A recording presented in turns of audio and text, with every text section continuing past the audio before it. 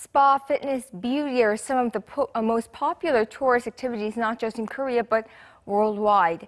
There's been growing demand for such wellness services among tourists and the tourism leaders have gathered to share their country's strategies and discuss the future of the industry. Lee Ji-won has more.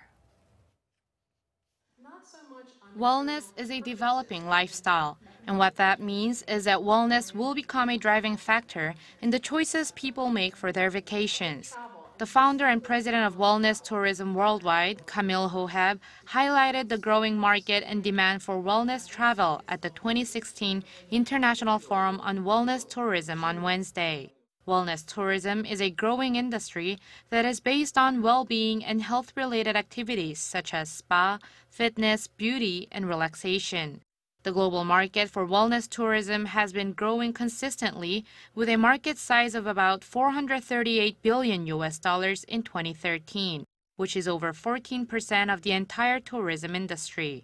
Various industry people gathered in Korea to discuss the current trend and their country's strategies to develop the market.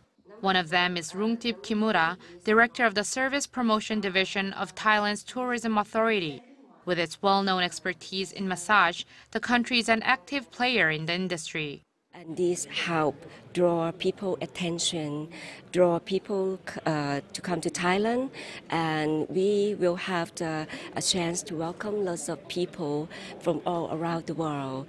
That means we will have lots of, you know, um, like an opportunity to generate incomes and employment. But for Korea, there's still much to be done. Professor of Health Administration Jin Gi-nam said Korea has great resources to attract wellness tourists, such as famous cosmetics and temple stay experiences, but is poor at promoting them.